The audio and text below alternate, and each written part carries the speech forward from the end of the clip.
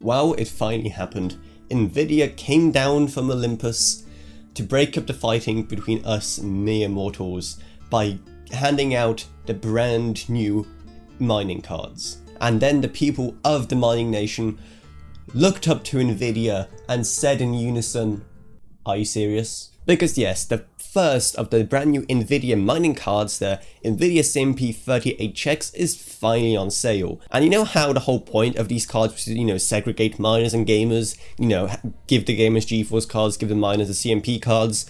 Yeah, that's not happening because these cards have a terrible hash rate compared to even some of the more budget offerings from the Nvidia's Ampere lineup. But hey, at least the launch of these cards can tell us a bit more about, you know, what these cards are all about, what's inside of them, and how will it impact the overall production of Ampere cards. Firstly, one of the biggest things that me and many of us sad people around the world were wondering is what architecture these cards will even run on. Well, now we know because the GPU at the heart of this brand new 30HX card is the TU116, a Turing architecture based GPU. So basically RTX 2000. But the fact that they are using Turing instead of Ampere should hopefully mean that they can still use as much of the Ampere chips as they can produce and put them inside the GeForce RTX 3000 cards. But honestly, this just makes you feel bad for miners, because again, the whole point of this exercise was to give the miners their own toys to play with and leave the GeForce cards to the gamers. But honestly, they just don't really offer too much of what miners are looking for, because not only does it have a worse ROI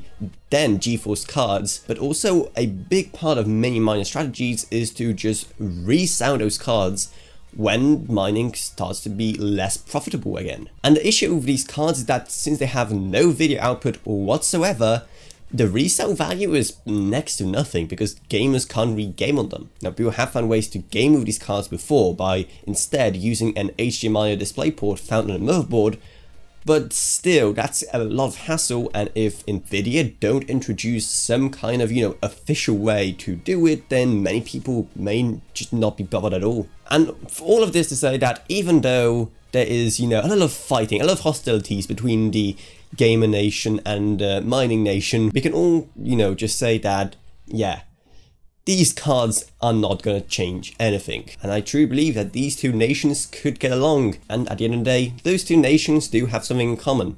They just blame everything on Nvidia. So if you found this video interesting or useful or funny or pretty much anything else other than borderline boring, then maybe check out my Patreon because even one dollar a month goes a long way in helping my channel and allows me to make way better videos along with videos on way more interesting topics. I'd also love my Patreons, Gavin Burns, Ryan, LKB, Naomi Sushii, Tiffany Jacobs, and Wolfie.